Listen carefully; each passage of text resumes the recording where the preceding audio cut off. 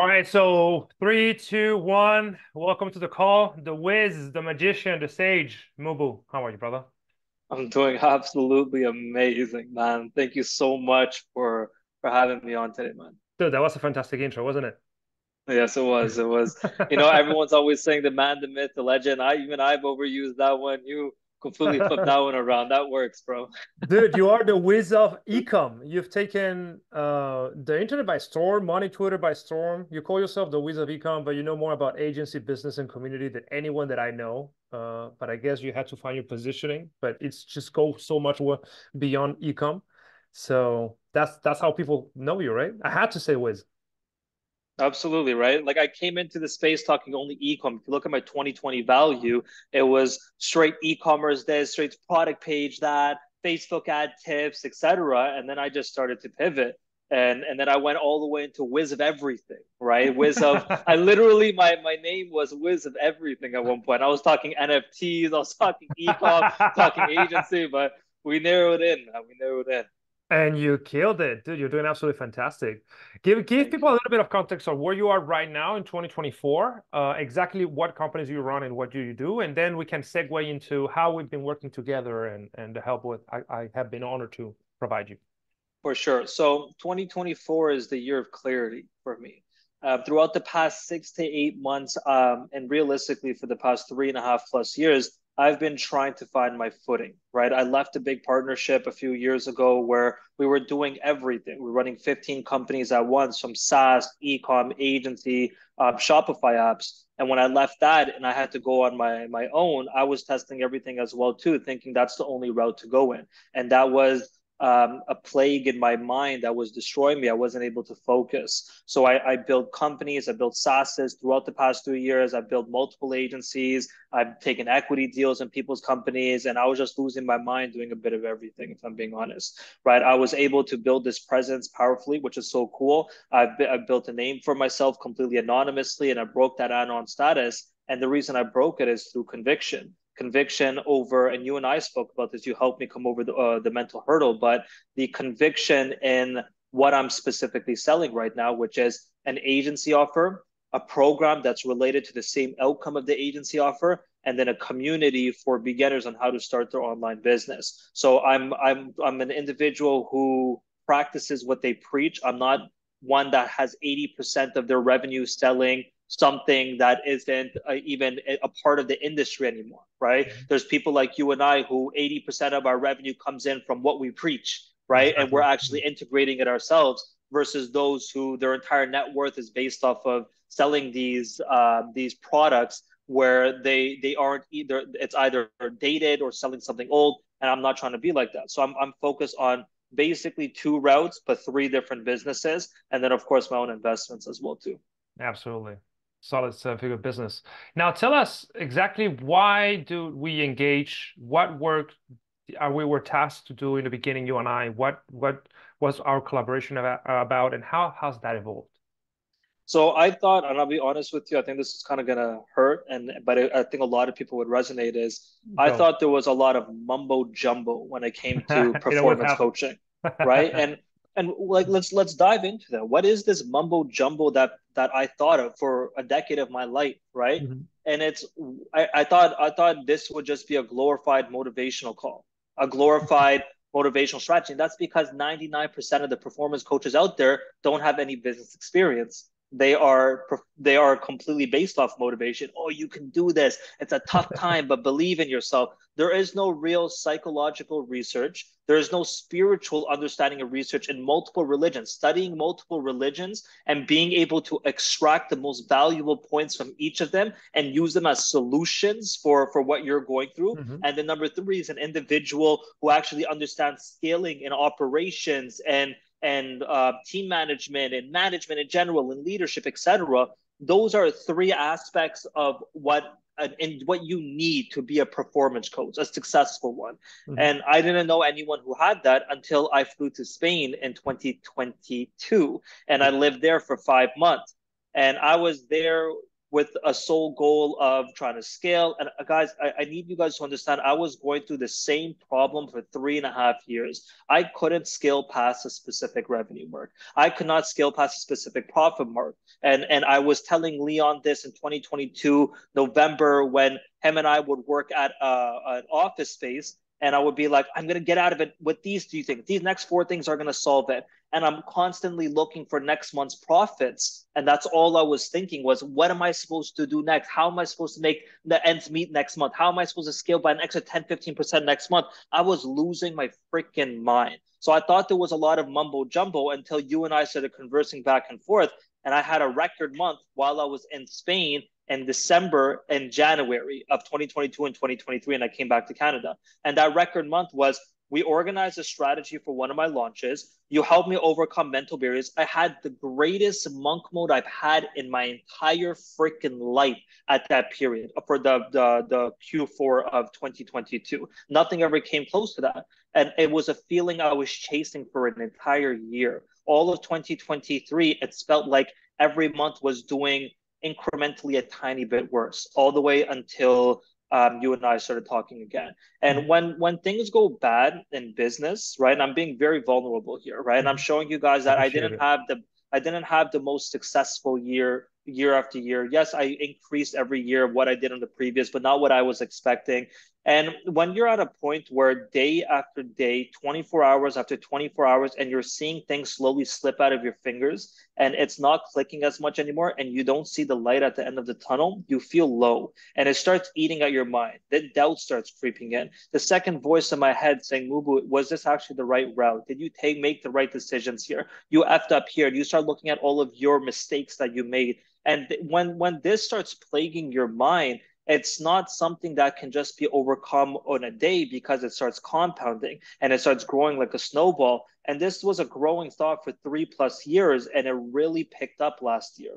And then I, I couldn't seem to get out of this loop. And I, I, thought I tried so many things. I was reading books. I was listening to other mentors. I was trying to talk to myself. I listened to uh, to to spiritual shamans and and imams, and nothing was clicking. And I, and it was because I had this thought process of no, I know what I'm talking about because I've done this before, right? And I had this cocky confidence. I know it's not as easy as that. Someone gave me a solution. It's not that simple. So I came to Leon three times and I messaged you. I remember messaging you and I didn't actually move forward with you. I'm like, yeah, it's, I'm like, maybe we should, maybe we shouldn't. Can we jump on a call? Maybe we should, maybe we shouldn't. Until finally, you and I did a call after four months of me sitting in the sidelines and and you broke down everything what's going on in my life and in my mind because you've known me for a little bit at this point. Mm-hmm. and that first call i made a vow to myself mubbu you do not know everything blindly follow what leon is saying.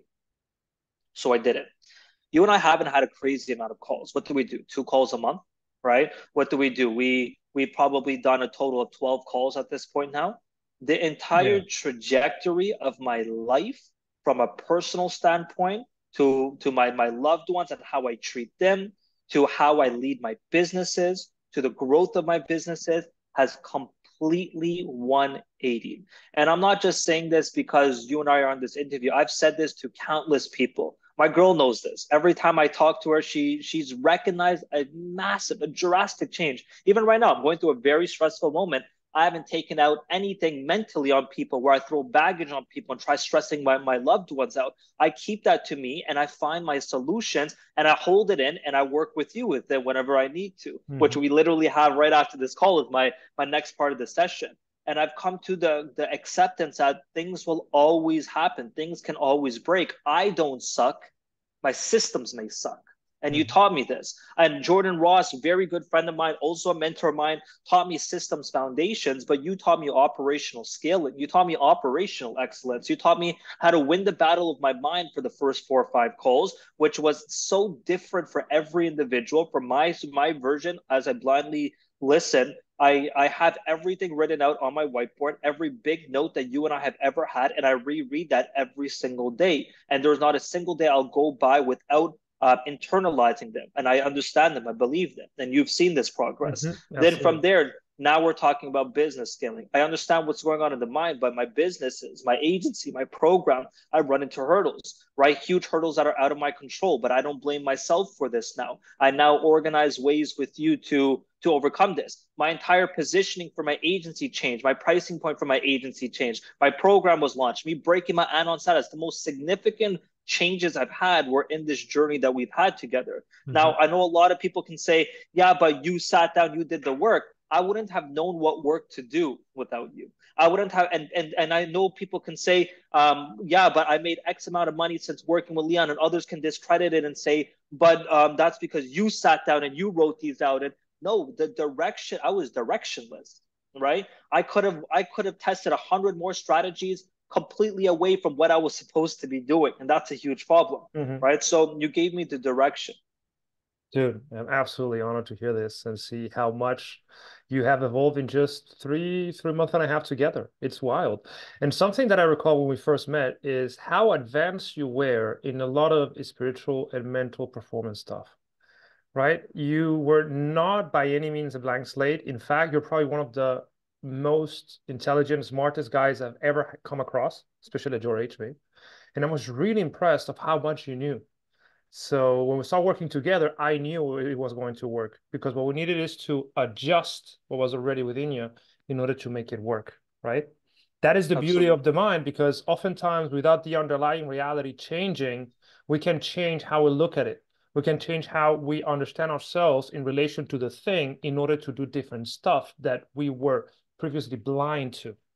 Absolutely. And that's the magic, right? So when people say performance coaching doesn't work, it's like because they they cannot really fathom an alternate reality because they yeah. don't know how to look at things from different perspectives. But I agree with you Rick, on the point. One quick thing there to add: Richard Bandler, the the um, NLP guy, the NLP, the, the founder of NLP, Neuro Linguistic Pro- Programming and Hypnosis, in one of his books, he literally says that he's like, someone was saying, uh, "You can't hypnotize me," and he's like, "You're right." right? And the reason he said that is like if you don't believe that you can be something or do something, then you won't become it and it won't happen for you. If you don't think the performance coaching will work for you, it won't work, right? It's mm-hmm. just a lot of people shut a door in their minds, right? And when they shut that door, they don't open it up and then they're just hurting themselves because they think they know everything. I was that person. You know what's funny? That for the longest time I battled with this. It's a little bit of uh, like um Know your parents because it's very interesting? Because most of you guys of our you know the smartest clients tell me dude like you are you have such a hard business because nobody really realizes how important you are. But of once we, right it's like there's so many people out there doing absolutely you know things that are not ideal. Said you but here's the here's a metaphor. Michael jordan did not become michael jordan on his own. Michael phelps did not become the most decorated olympian on his own mm-hmm. those that want to be michael jordan those that want to be michael phelps know they need a coach yeah. So my role is to not to convince.